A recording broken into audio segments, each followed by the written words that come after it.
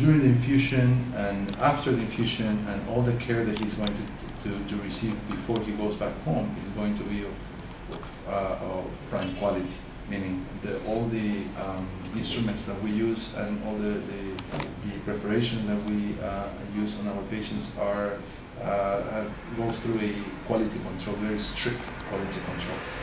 We use, as, as you can see here, we use everything, we bring everything from the U.S. and use it here for our infusions.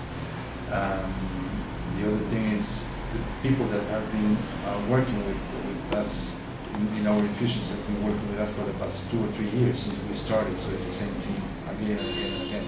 And we have had no complications whatsoever with, uh, with our patients. There's no infection, our infection rate is 0%. The side effects that, uh, that our patients reported are very mild maybe a, a, little headache that is easily controlled with the, with the Tylenol, with the acetaminophen. Um, maybe a, a, a, low grade temperature below 38 degrees. This is due to a, a, um, probably some some um, flourish flourishing of, of his immune system.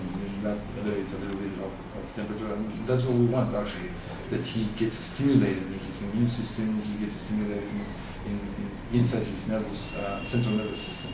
Um, aside from that, all the patients withstand the treatment very well. You're going to see,